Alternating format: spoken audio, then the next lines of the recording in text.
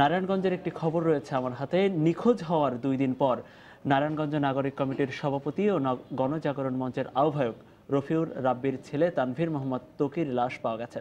সকাল দশটার দিকে শীতলক্ষার কুমুদিনী এলাকা থেকে তার লাশ উদ্ধার করা হয়।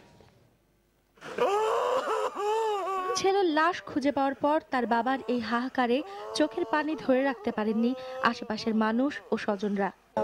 যত সাধারণ মানুষের জন্য, সাধারণ মানুষের পক্ষে যে আন্দোলন হয়েছে, সেই আন্দোলনে উনি অগ্রণী ভূমিকা পালন করেছেন। আর সেই ক্ষেত্রে তার ছেলেকে এইভাবে নিখোঁজ হবে এবং নির্মমভাবে আমাদের এই লাশ পেতে হবে, এটা স্বাভাবিকভাবে মেনে নিতে পারছি না এবং স্বাভাবিক মৃত্যু বলতে পারছি না। নিহত তানভীর নারায়ণগঞ্জ এবিসি স্কুল থেকে এ লেভেল পরীক্ষা দিয়েছিল।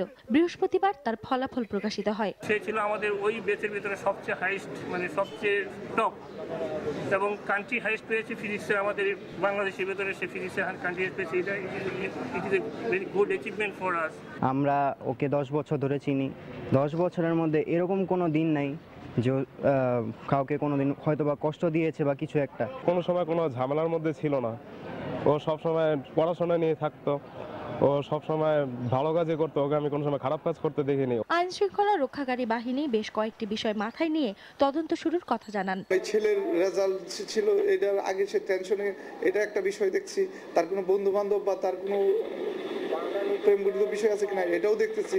সমস্ত বিষয় আমরা মাথায় রাখছি। এর আগে বৃহস্পতিবার সময় সংবাদকে তানভীরের বাবা জানান বুধবার বিকেলে তার কাছ থেকে অনুমতি নিয়েই বাসা থেকে বের হয় সে। যখন যাচ্ছে আমি দেখি যে বাসায় যে টি শার্টটা পরা ছিল ওটা পরে যাচ্ছে। আমি বলতাম বাইরে যাচ্ছে একটু এই জামাটা বদলে যাও। তো জামাটা একটু বদলালো। চেঞ্জ করার পর আমি সেখানে ওটা জিজ্ঞেস করলাম তুমি মোবাইল নিয়েছো? বলে যে না নেই নেই মোবাইলটা তুমি মোবাইলটার সাথে নাও। মোবাইলটা নিয়েছে।